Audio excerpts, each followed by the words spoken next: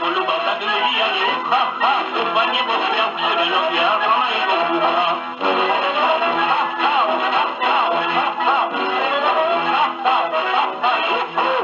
Przyszedłeś, nareszcie!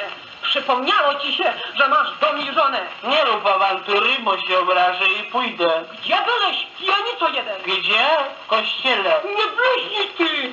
Gdzie się upił, ty dystylarnie chodząca? Czyż ja nie jestem pijany? Nie pijany!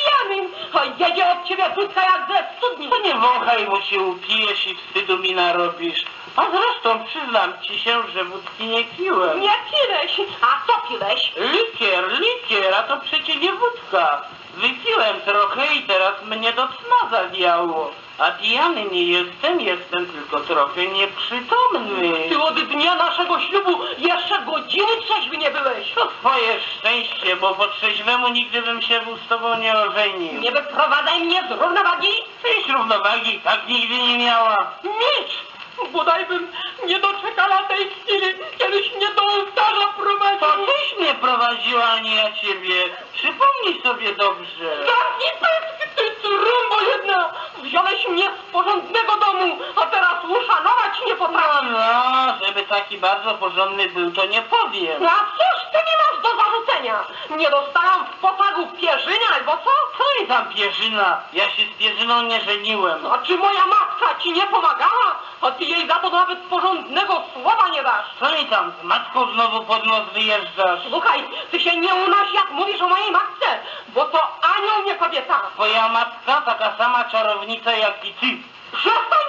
Mówię, bo źle dzisiaj może być z tobą. Przestanę, przestanę, bo zawsze mądry głupiemu ustępuje. To ja jestem głupia? Jesteś, no i nie chwal się tym, bo to nie wypada. Daj mi lepiej parę złotych na zgodę i będzie dobrze. Co? Parę złotych? Co ty chłopie z pieniędzmi robisz? Dopiero tydzień temu jak wziął pięć złotych i co żeś z nimi zrobił? Co zrobiłem? Kupiłem złoty łańcuch i kłódkę, żeby ci gębę zamknąć. Czy to nie głupia baba? Ona chce, żebym za pięć złotych cały rok się bawił i jeszcze jej reszty Nie przyniósł. mamrot, bo jak cię zamaluję, to nie wstaniesz. Lepiej siebie odmaluj, boś się tak wymalowała, że aż przykro patrzeć. Wymalowałam się, bo mi się tak podobało.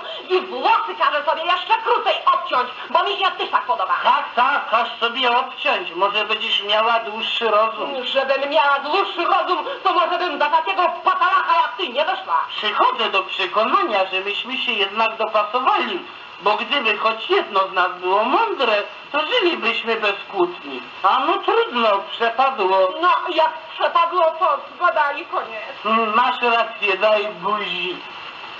O tak, widzisz?